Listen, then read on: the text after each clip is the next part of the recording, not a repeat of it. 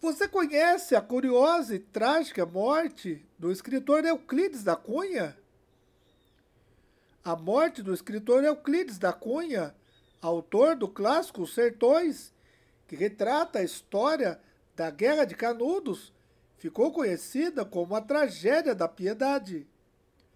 A esposa de Euclides, conhecida como Ana de Assis, tornou-se amante de um jovem cadete 17 anos mais novo do que ela, chamado Dilermando de Assis.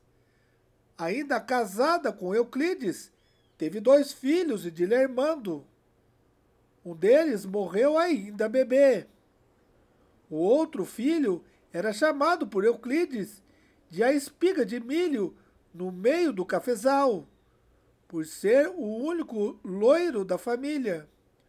Aparentemente, Euclides criou como sendo seu filho. A traição de Ana desencadeou uma tragédia em 1909, quando Euclides entrou armado na casa de Dilermando, dizendo-se disposto a matar ou morrer. Dilermando reagiu e matou Euclides, mas foi absolvido pela justiça militar. Até hoje discute-se o episódio. Dilermando, mais tarde, casou-se com Ana e o casamento durou 15 anos.